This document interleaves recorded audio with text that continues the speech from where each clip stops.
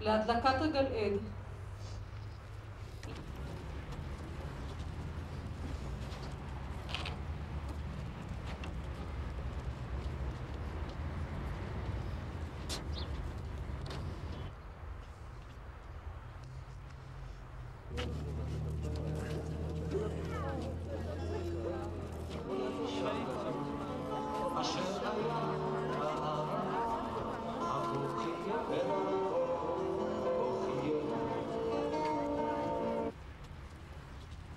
יזכור עם ישראל את בניו ובנותיו, אשר חירפו נפשם במאבק על המדינה בדרך, ואת חיילי צבא ההגנה לישראל, אשר נפלו במלחמות ישראל.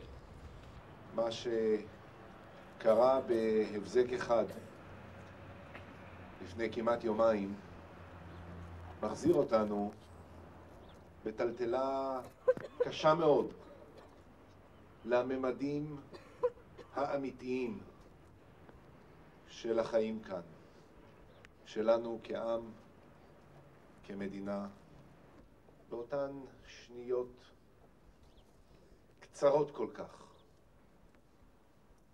עד שהכל התפוצץ.